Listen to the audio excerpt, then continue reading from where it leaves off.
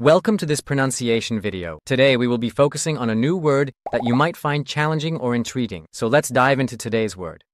Kop'e, which means a spear in Russian. Let's say it all together. Kop'e. Kop'e.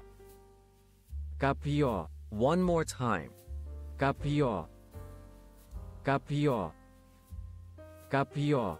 Thank you for joining us on this adventure in pronunciation. Remember, language is a journey, not a destination. Keep exploring, experimenting, and expanding your linguistic horizons. We'll see you next time.